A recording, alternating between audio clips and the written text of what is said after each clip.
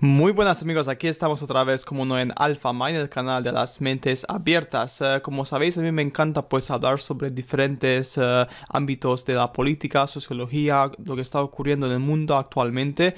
Hoy estamos hablando sobre realmente las nuevas medidas que ha tomado el gobierno chino, eh, donde han implementado un sistema de ranking social que se parece muchísimo, uh, por desgracia, a lo que sería en un próximo futuro un sistema global para todo el mundo.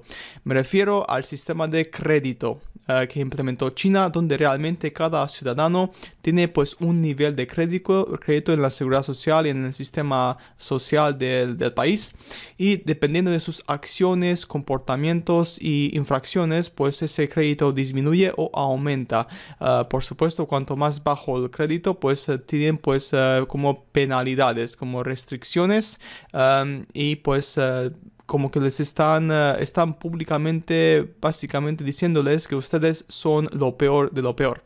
Bien, estas medidas, eh, claro, tienen unos puntos muy buenos porque, muy importante, en China sí hay un gran abuso de lo que es videojuegos, por ejemplo, que es uno de los puntos que toca esta medida, o fumar en lugares prohibidos, o sea que los comportamientos antisociales, eh, eso viene muy bien porque la gente tiene que comportarse claramente, pero Ah, como todos sabemos, cuando se implementa un sistema de control, el sistema de control siempre va más allá, siempre va ah, hasta límites insospechables, ¿vale? No empieza desde un punto A y dicen, oye, pues nos quedamos aquí porque aquí es suficiente. No, siempre van a seguir más y más para tener un control absoluto sobre los seres humanos.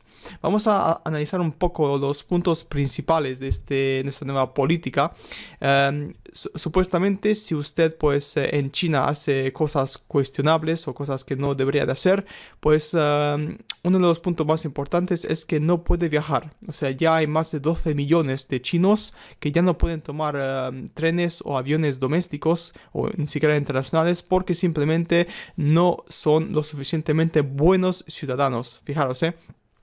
Algunas de las medidas, por ejemplo, si usted pues eh, le encanta comprar videojuegos y jugar muchos videojuegos, si compra demasiados videojuegos, también pues su crédito disminuye porque es un antisocial y por lo tanto pues hay que tener mucho cuidado. Si rehúsa ir al ejército o pone excusas, también su crédito social disminuye y por ejemplo sus hijos sufrirán las medidas, sufrirán los, las consecuencias, por ejemplo, donde ya no pueden ir a las mejores escuelas porque su crédito social es muy bajo. O sea, ya ni siquiera afecta al, individuo, sino que realmente a la familia. A la familia del individuo directamente le dicen, usted es un donadie, por lo que su familia es un donadie. Fijaros, es muy fuerte. ¿eh?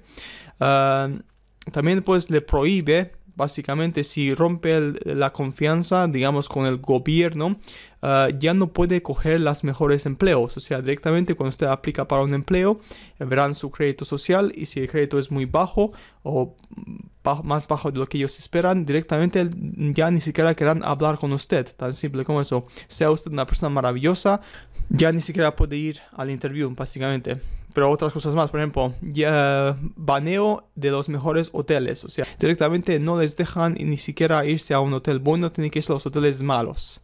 Ah, también públicamente ah, les dicen, les nombran cuáles son los ciudadanos malos, ¿vale? Ah, y ya hay una lista de que se llama la blacklist, que es la lista de la gente de, de la básicamente de lo peor de lo peor. O sea, personas que han sido usadas como excusas para castigarlas y por supuesto gente que ha sido expuesta y les han dicho que son un donadie, que son basura, son la basura de la sociedad.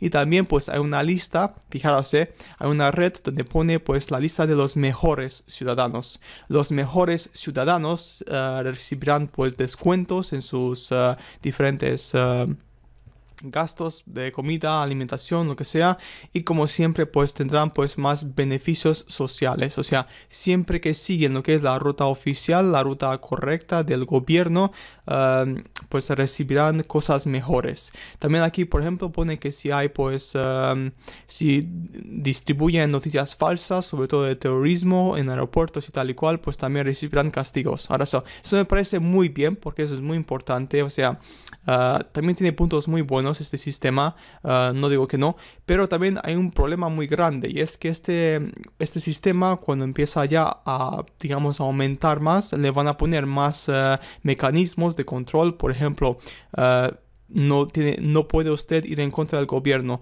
no puede usted uh, decir o contradecir a lo que oficialmente se dice en las noticias, no puede usted directamente, uh, no sé, debatir sobre asuntos que son sensibles, o sea, directamente convierte a la gente en verduras, porque la gente se va a asustar y la gente pues no querrá debatir, no querrá hablar, uh, solamente querrá aceptar como, como directamente como ovejas, ovejas directamente todo tipo de políticas, decisiones del gobierno porque simplemente no quieren desafiarles y no quieren que sus familias sufran. Muy importante, como siempre, la mejor forma de hacer que una persona o que un grupo de personas, digamos que se paren o que directamente se queden callados, es siempre amenazándoles con quitarles derechos, quitarles beneficios y por supuesto quitarles uh, cosas de su familia, que es muy importante.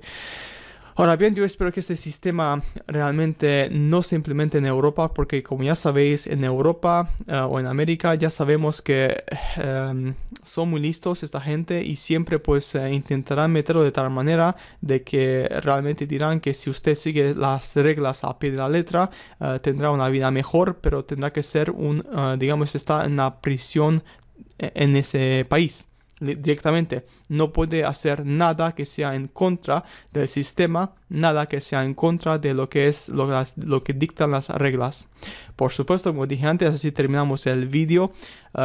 Es muy importante ser una persona decente, claro, no hay que ir por ahí insultando, uh, pegando gritos, uh, molestando a la gente, robando, uh, yo que sé, propagando noticias falsas de terrorismo, claro, es que eso, eso no, eso nunca es bueno y nunca va a ser bueno. Os dejo con una reseña que ha dicho pues, el, el presidente de China ahora mismo, que dijo lo siguiente, Once untrustworthy, always restricted. O sea, eso se puede traducir en una vez que no confiable, siempre restringido. Esto pues, uh, como dije antes, como os recuerdo, esto significa un montón, porque realmente si esa persona por cualquier motivo, uh, no tiene que ser por motivo de hacer infracciones, sino solamente por diferencia de opinión, por no querer ir al ejército, tal y cual, directamente esa persona la van a clasificar como una persona de la basura. Y da igual lo mucho que incremente sus, digamos, sus puntajes, siempre tendrá un, un récord, una, una, digamos, una lista de estar en una lista o habrá sido en una lista donde siempre pueden ir para atrás y verle y realmente pues identificarle como una persona que no es confiable.